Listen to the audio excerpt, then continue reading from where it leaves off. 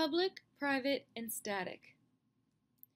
Your programs will continue to have more and more parts, more classes, each with more methods, and making those parts work together correctly will get more complex.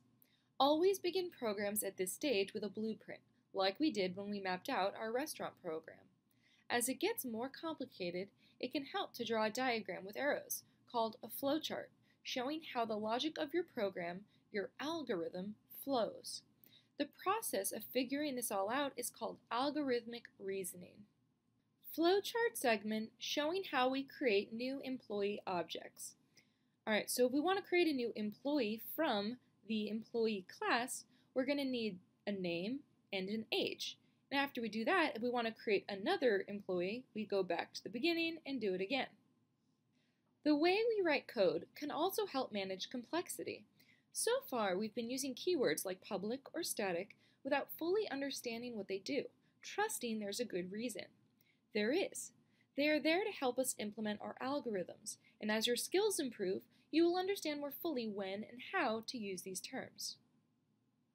As with a field, a private method can only be used within the class that it is defined in and nowhere else.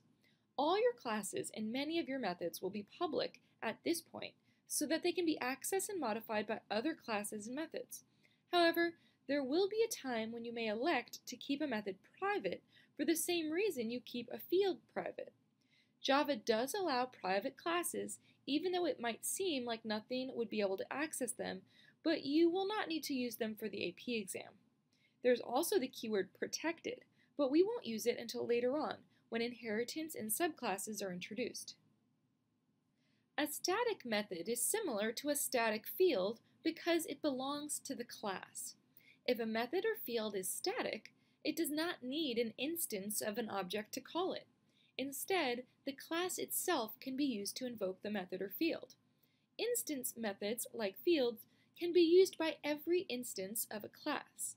A method is assumed to be an instance method when the keyword static has been left out, which is implied syntax. Let's look at that restaurant program again.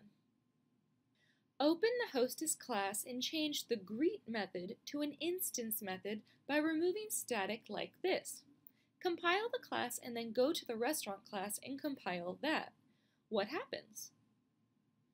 A compiler error occurs. This is because the greet method is no longer a static method, therefore it cannot be invoked by the class itself. So now we need to create an object or instance of the hostess class to call to the method like this. Here, anyone is a variable that holds or points to an instance of class hostess.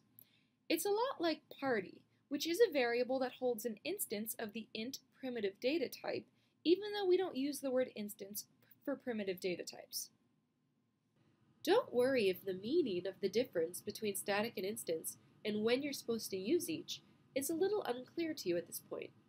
This is one of the trickiest things about object-oriented programming. Focus on learning the rules and tinkering with how you apply them in your programs. Over time, it will become more and more clear. It's okay to get it wrong. The best indication you're learning is when you write some code and then think of a better way to structure your program. Go rewrite it. That's part of the process.